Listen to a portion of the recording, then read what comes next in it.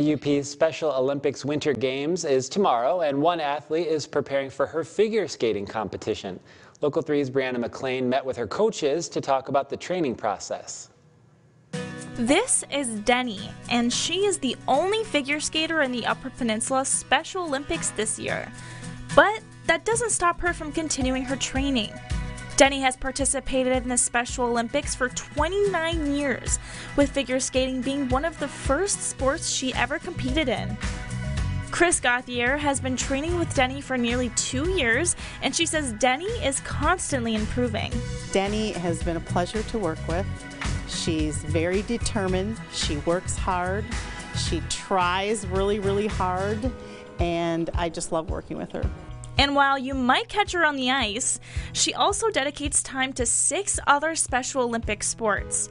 Some sports include basketball, swimming, and her newest sport, powerlifting, which happens to be her favorite. She trains twice a week with a powerlifter trainer and will compete in the UP Summer Games. Her sister Kelly wants to thank the community for supporting Denny and the games.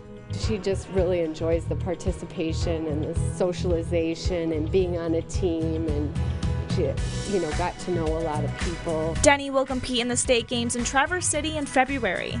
Reporting in Marquette, Brianna McLean, Local 3 News.